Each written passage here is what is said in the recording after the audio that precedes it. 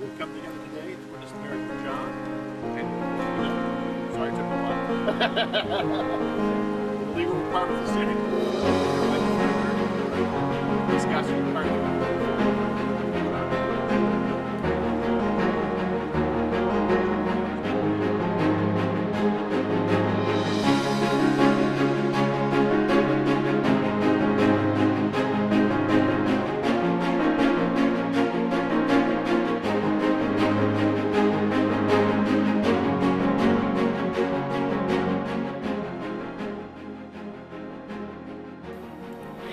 This time last year, I was a little lost and I turned to prayer. And one of my prayers was to find a man who was worthy of my love and who would give me that love in return.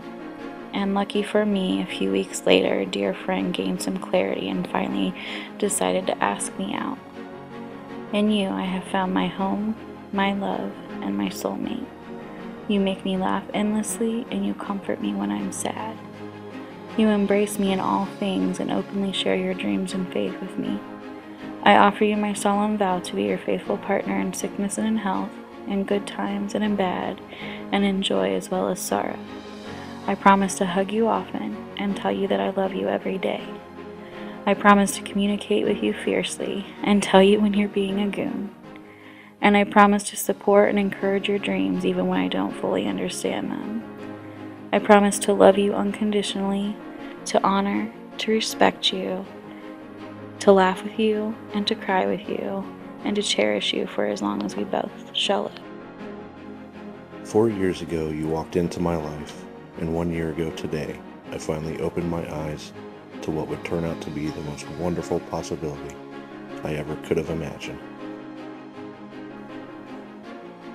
You have made this last year one of the best years of my life and if you'll have me, I promise to you to spend the rest of my years doing everything in my power to make each day more wonderful than the last. I promise to love you each and every day with my entire heart, through sickness and in health, through the good times and the bad, for the rest of my life. And I also promise to remind you at least once a day that I am a goo. I love you, Keyna Marie, and cannot wait for all of our tomorrows together.